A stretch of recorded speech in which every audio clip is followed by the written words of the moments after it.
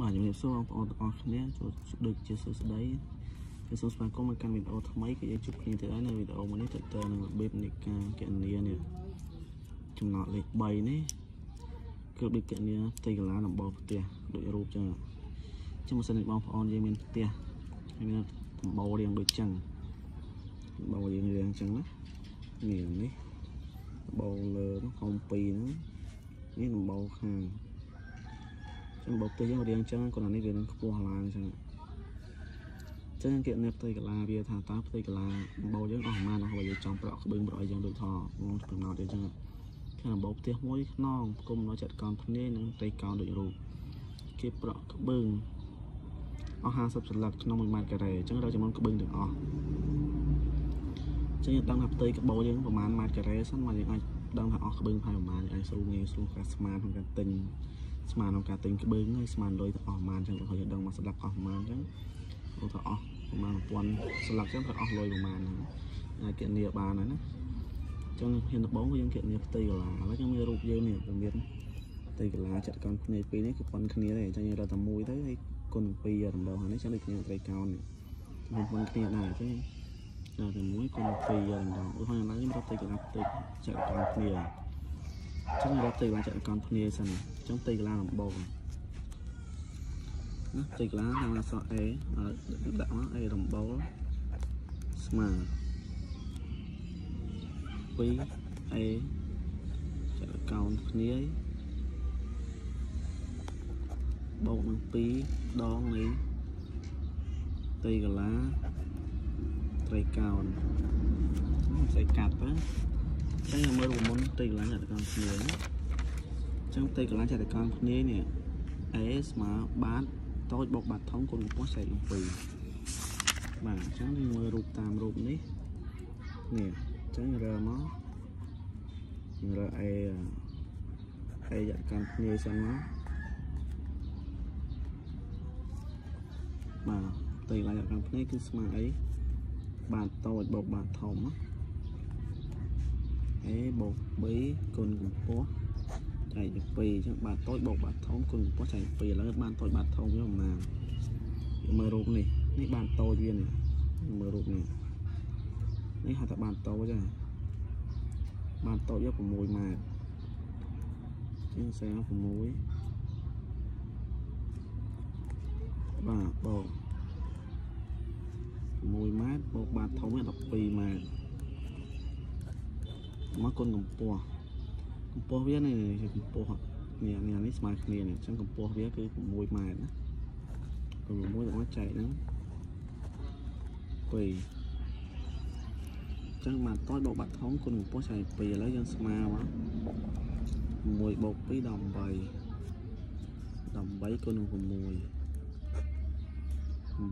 ដង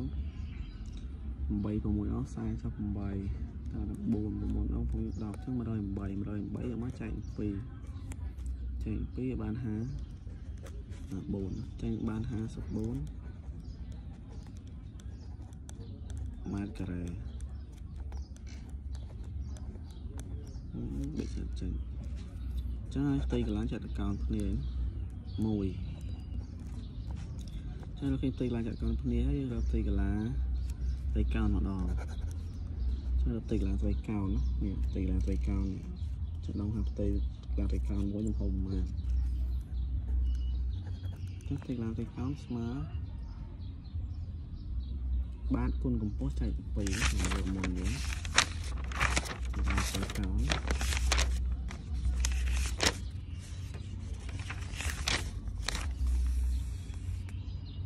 បាទទៅឡើងស្អីកោននេះបានគុណកម្ពស់ចែកទៅចុះមកមើលនេះស្អីកោនយើងរូបអានេះជាកម្ពស់នេះកម្ពស់នេះហៅបាទនេះកម្ពស់វាម៉ានេះកម្ពស់វាស្មើម៉ានេះអញ្ចឹងកម្ពស់វា3ម៉ែត្រខ្ញុំដាក់មកអេគុណណាពីរយ៉ាងណា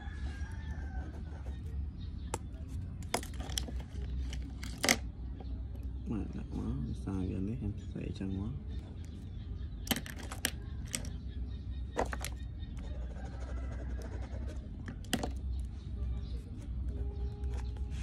ចែកពីរចឹងបាទបាទអឺ9គុណកម្ពស់នេះ3ណាចែកហ្នឹង2ស្មើ1ដល់10 27បែ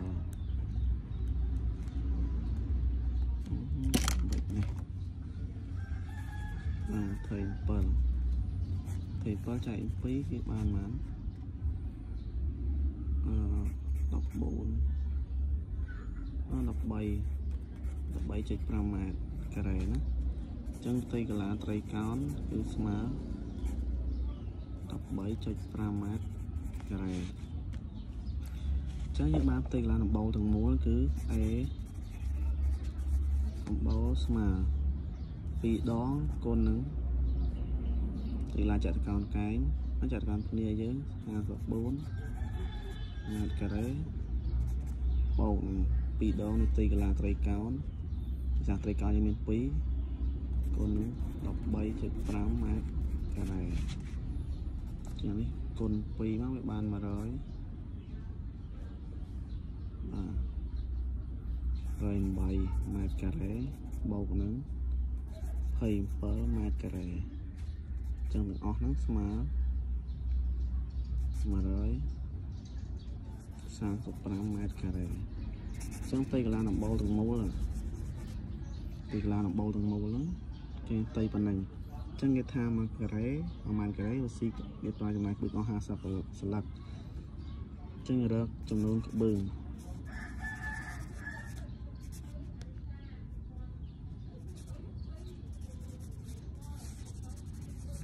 បាទត្រូវប្រក់អំបោលគឺជា135ម៉ែត្រក្រែគុណជាមួយក្បឹងក្នុងម៉ែត្រក្រែមកគឺ50ជាងគុណនេះជាងឃើញស្មើមក sama ម៉ែត្រក្រែអាក្បឹង50សន្លឹកចឹង135ម៉ែត្រក្រែមកមកជាងគុណមក បង្ហាញ0 0 0 25 5ត្រា12ហើយដង5 5 17 5ដង5ដង6ចង់អស់បាទយើងអស់ប៉ុណ្ណេះចង់ទៅកន្លងដំបងទៅប្រើក្បឿងអស់1750 សន្លឹកណាដើម្បីប្រក់ពេញត្បូលហ្នឹងអញ្ចឹងបើសិនយើងគិតថាមកបឹងមកមកត្បូលមកមកមកស្លឹក2000ចុះស្លឹក2000លុយខ្មែរហ្នឹងក៏វាអស់3000ដុល្លារជាងហ្នឹងគាត់ត្បូលអញ្ចឹងនេះជារបៀបនៃការគណនាអញ្ចឹងគណនាការផ្ទៃកណាត្បូលផ្ទះហ្នឹងរៀងអញ្ចឹងបាទនឹងរៀងរូបរូបហ្នឹង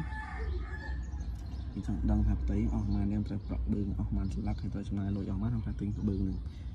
តាមថ្លៃជាងទៀតអស់ម៉ែត្រក្រៃគិតបានគុណជាមួយលុយទៅហ្នឹងយើងចង់រើទៀតអញ្ចឹងមានប៉ុណ្ណឹងទើបទៅវីដេអូមួយនេះបងមានចំណងអីអាចខមមិនខាងក្រោមមកឬក៏ខ្ញុំមានចំណុចខ្វះខាងឡើយណាហើយបើបងប្អូនចង់ខ្ញុំធ្វើវីដេអូអីអាចចុចខមមិនបង្ហាញឲ្យខ្ញុំធ្វើមកខ្ញុំនឹងបង្ហាញបង្ហាញពីទៅពីរបៀបធ្វើអីមួយដោះស្រាយអីមួយបាទសូមអរគុណចូលចិត្តវីដេអូមួយនេះហើយ ជួយចុច Subscribe Channel ដើម្បីទទួលបានវីដេអូថ្មីថ្មីទៀតហើយជួយចុច Like Share